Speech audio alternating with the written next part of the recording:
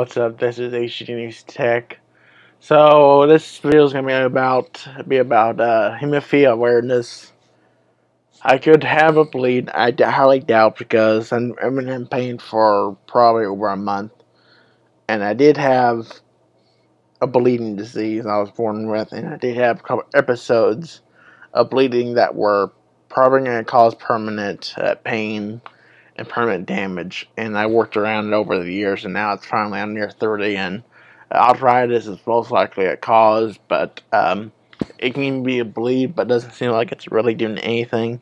The legs look the same as they were on both sides.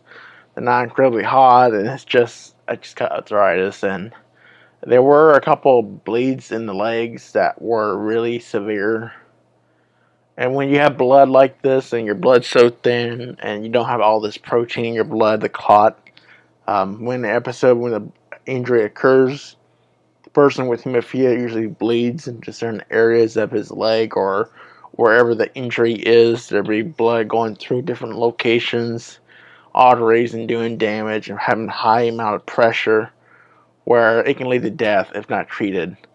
And um, hemophilia awareness is this month for Friday, April 17th, 2020. It's World Hemophilia Day. As you know, it's a really uh, deadly disease. It's related to uh, factor 8, being deficient in that, which I always had trouble with making that clotting protein, which led to bleeding and spontaneous bleed. I only had one of those and that was last year, and that was really unbearable. But I luckily got treated fast enough where I didn't lose my eyes that I could have, but if you see someone who's bleeding or having trouble with you know swelling or anything, there could be a clotting disorder. Most likely, it could be hemophilia.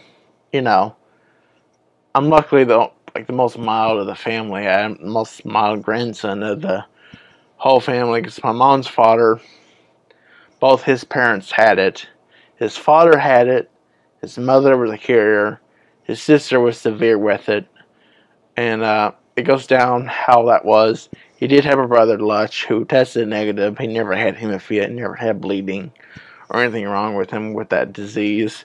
So he skipped him and then got Johnny and then, you know, his grandsons because he had daughters that carried the illness and then had sons and someone one of the daughter's sons who carries the gene, the bad mutation, causing hemophilia itself to exist and, you know, having bleeding issues, uh, not able to have surgery or any kind of dental work without special medicine, because the blood just doesn't clot ever in my life. Did ever really do.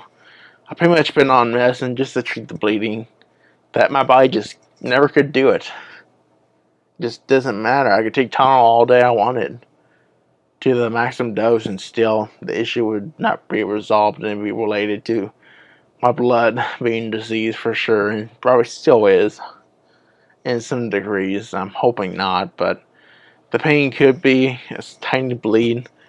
But how bad it's been getting is kind of reminds me of a bleed, but not really swelling up like it should, but still enough to have pain. And I don't know. I mean, I'm getting older. I just the pain is just, I mean, it was severe just walking, getting used to working in the store and then having to go underneath these um, ropes, you know, because of state, because of the laws on how many people they go around both their locations, and apparently that flared my leg up yesterday in my, you know, my joint. So basically, basically, it's been sore, and after like 12, 15 hours or more it has gone down on pain. It takes a long time. It takes over 12 hours from last night till right now to actually feel a lot better in a way, but still having a bit a bit of it in you, a pain, you know, but not as severe as it was taking off that rain gear and going to lunch. And during that hour, the pain has that pain did go down. It did just appear from me, and you know, it still hurt a little bit, but not as severe. Tying my shoes, getting up, and that's when the pain hit me. And um, it might be arthritis. I'm hoping it's just that and not another bleed scenario that can cause more damage in the future if it's not treated. And right now, I can't go to hospital because this COVID 19 um, virus that apparently uh, hospitals can't keep up and there's a risk infection. And if there was a way and this virus didn't really show up in the US, I most likely would go to the hospital and get checked out again. But since it's in every hospital in the US and the hospitals are overcrammed with people, it's just not worth it. I mean, hopefully this pain resolves. The it was in the butt like a month ago or more, and then it had finally went down the leg, and this might just be a nerve issue. I mean, I might have just a pinching nerve in there, and it's, I mean, it's kind of like this when you work a lot. You're not used to working so hard. And definitely this last few weeks has been really busy um, with shoppers and helping and all that. And, you know, I last night, and that didn't really take any help. But the best that helped us just rest, getting off of it for a while, for a good amount of hours.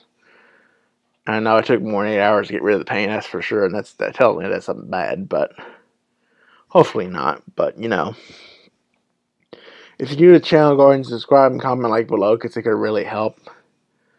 Because I'm in the progress of saving money for a gaming rig, which I might just wait a while because I mean, if I get permission, I can use that GeForce now it will allow me to use the data cap, the data from my IAC that's unlimited for 30 days because of this huge outbreak of this virus. They won't count the data and they won't charge me for it. It's just a regular 55 something like that a month.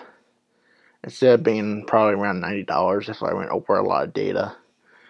And yeah. So far, a lot of ISPs are giving in to this which is good. It's just a lot more people streaming and doing work at home from their own desktop and laptops. They at the bottom. Luckily, I got my own, but um, it's seen its days and it's it's just getting outdated. And there's needs there needs to be a new computer bought, and uh, I don't know what I'm going to do with this machine after I'm done with it. I mean, I could still use the gaming one once I get it, and just stream the games over the network from the gaming rig to this machine and it works flawlessly with Steam. In fact, I looked it up and downloaded the iPhone apps. I can do it on that too. But uh, things to look forward to. There will probably have to be network upgrades in my house to handle the bandwidth. Because currently, right now, I'm all on wireless, and that will not fly uh, with gaming. And it, it, the streaming is not that good on wireless anyway for you know that kind of service. And it's only like five bucks a month. So once they approve it, I'd find a way to pay for it and use the service. And I think you can only go up to six hours a day. Right now, there's only I'm on a trial for like 90 days, and I only get one hour a day. But after that, I got paid money, and um, locals offering theirs, but in order to get it, you have to buy something that's over hundred dollars to get the code and stream, and it's just not worth it. I mean, totally not worth it uh, for Google Stadia, and uh, money's tight, and that's not an option. I can't just buy anything, you know, online, you know, nothing technically without you know asking first, of course. So, thanks for watching. See ya.